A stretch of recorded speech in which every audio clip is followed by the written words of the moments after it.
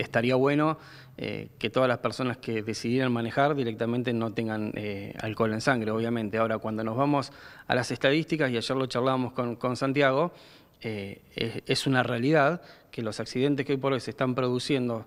graves o fatales, estamos hablando de una franja que tiene arriba de 1, de 1,5 de gramos por litro en sangre. Y si hoy por hoy nos fijamos de la cantidad de accidentes que se producen por menores de esa graduación, 0,50 casi no está entrando.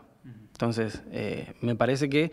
tenemos que poner el foco y tenemos que poner la mirada sobre lo que realmente puede llegar a ser el problema. Sin lugar a dudas, eh, creo que una de las patas importantes es el compromiso ciudadano y el conducir, obviamente, de una manera apropiada y acorde a manejar adentro de una ciudad. Eh, también tenemos que tener en cuenta bueno, que, hay una ley con media sanción a nivel provincia y obviamente desde el cuerpo legislativo no es eh, cuestión de sacar una ordenanza por cuestión de, sacar y que tenga que salir en el momento, sino que obviamente tenga consonancia con las normas principales, obviamente.